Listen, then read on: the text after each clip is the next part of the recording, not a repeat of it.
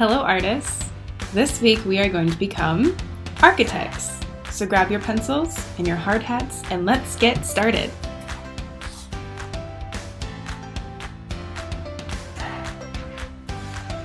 Oh, you don't know what an architect is? That's okay. An architect is someone who designs and constructs buildings.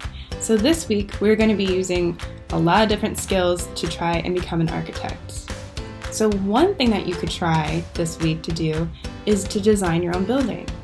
You can use whatever supplies you have around the house to do this. You can draw notebook paper, extra copy paper, whatever you have, and you can use pencils, colored pencils, markers. Again, whatever you have will work just fine. So, what would your building look like?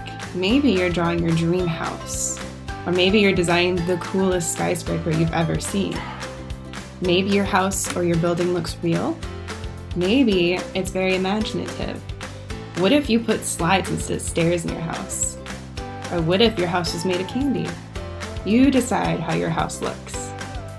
Okay, option number two of what you could do is to build something.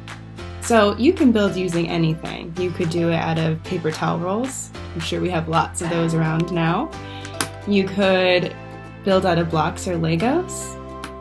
Or you can try doing Minecraft or something like that to build your own building. All right, the last thing I think you're really gonna like. You can also build something that you can go inside of. So something like a fort is a great way to become an architect.